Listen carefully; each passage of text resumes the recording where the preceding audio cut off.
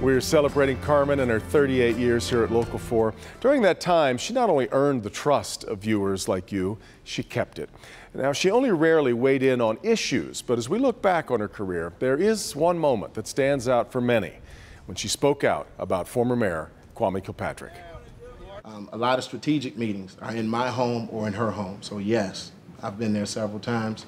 It was not Detroit's finest moment. Awash in a sea of incriminating text messages, the city's young mayor was drowning in tawdry headlines. He had had an affair with his chief of staff, but worse, they had lied about it under oath. And it seemed an $8.5 million settlement had been paid out to keep it quiet.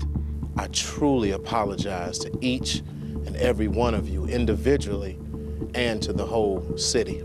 Carmen seldom waded into editorial waters, perhaps because she only occasionally offered them.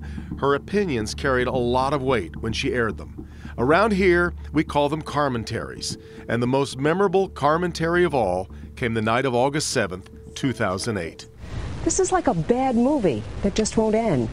We can't take it anymore, and neither can you, Mr. Mayor. The fact that she had the guts to, you know, raise her hand and say, you know, not ready for prime time anymore was huge. Because of the trust that people have had in her over the years, they knew that when Carmen Harlan got upset about it, oh, it's going down. It's really serious. Carmen had seen enough, and she told the once so promising Mayor Kwame Kilpatrick to step aside.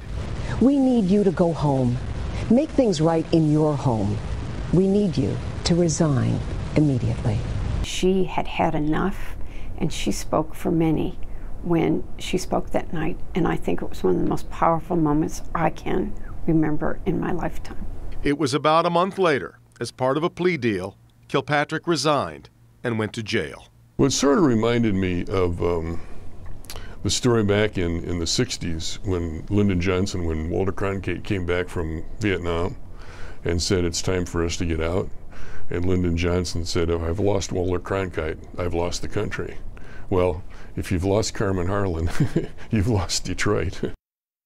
What a great analogy. It says it all. it really does. You remember, do you, you remember say much about those You know, I weeks? definitely, I- you know, I heard about it certainly from uh, my family. Sure.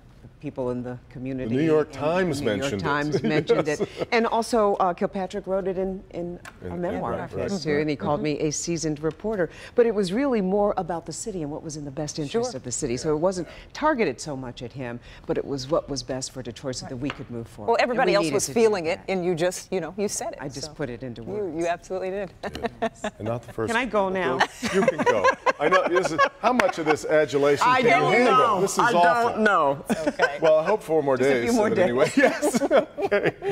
more coming up as we continue our celebration of Carmen. Who